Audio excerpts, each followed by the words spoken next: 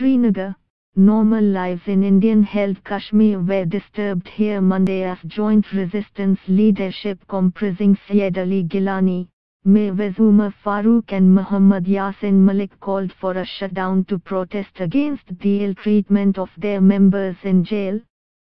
Heavy deployments of Indian Army, Police and the paramilitary Central Reserve Police Force were made in Srinagar and other districts of the valley.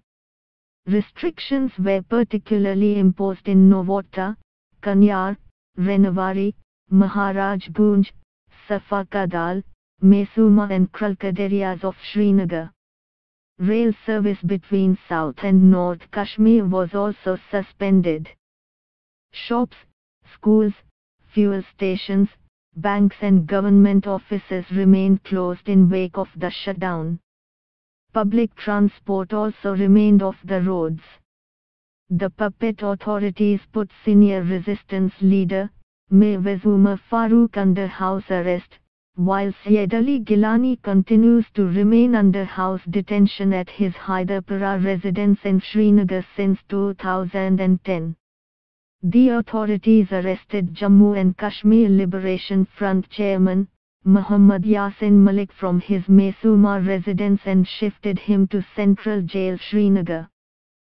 Several protesters including a woman were injured in pellets fired by Indian troops on protesters in Hajin area of Bandipora district, today. The clashes between protesters and Indian forces erupted against a cordon and search operation launched by the troops in the town. Muslim organizations staged protests in Jammu against journalist Rohit Sardana's blasphemous tweets against important Muslim personalities in Islam. Speakers, on the occasion, urged strict action against Rohit Sardana a special court of India's National Investigating Agency, today, extended remand of Shahid Yusuf, the son of Hizbul Mujahideen chief, Syed Salahuddin, in a fake case till December the 22nd. Shahid is detained in Delhi's Tihar jail since October the 24th. Meanwhile, Boom Boom Afridi, reverberated at high pitch with some slogans praising Kashmiri Mujahideen during the final match of the Indian Army organized Chinar Premier League at Kunza Cricket Ground in Baramulla. Star Indian cricketer and former team captain Mahendra Singh Dhoni was present as chief guest on the occasion. Indian government's newly appointed representative for restive region Dineshwar Sharma is in Srinagar on his second visit to push forward a dialogue process. Kashmir, the Himalayan region divided between India and Pakistan is claimed by both in full. Since their independence from Britain, the two countries have fought three wars, two exclusively over Kashmir.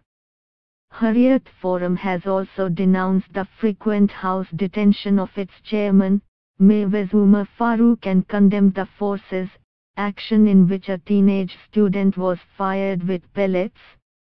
Hurriyat Forum spokesman in a statement issued in Srinagar criticized the authorities for placing Mirwaiz under house detention again and again.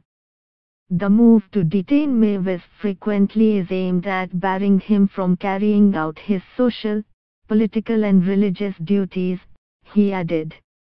The spokesman condemned the force's action in which a teenage student, Zahid Manzoor Mir of Naushehra, Zunimar, was fired with pellets and his vital organs like kidneys and gallbladder were damaged.